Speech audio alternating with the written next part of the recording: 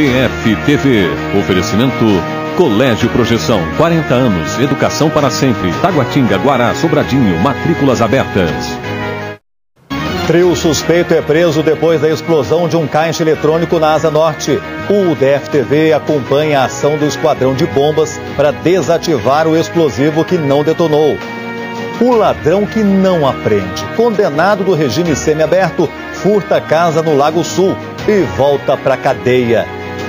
Perícia analisa vestígios deixados em carro para descobrir os autores do crime da mala.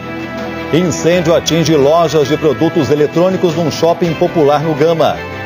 Bebê de 11 meses fica ferido em um acidente na ponte JK. Motoristas do transporte escolar entram em greve por falta de pagamento. Promessa de praça em Ceilândia está no papel há quatro anos. Outubro termina com metade da quantidade de chuva prevista para o período. E a coluna, no fim das contas, analisa a queda na cotação do dólar. Hoje é segunda-feira, 31 de outubro. O DFTV, primeira edição, está começando agora.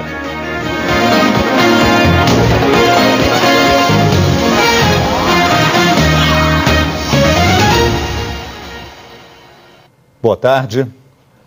O DFTV de hoje começa com uma operação no setor noroeste. Vamos acionar rapidamente o Globocop com Flávia Marsola. Oi, Flávia, boa tarde para você.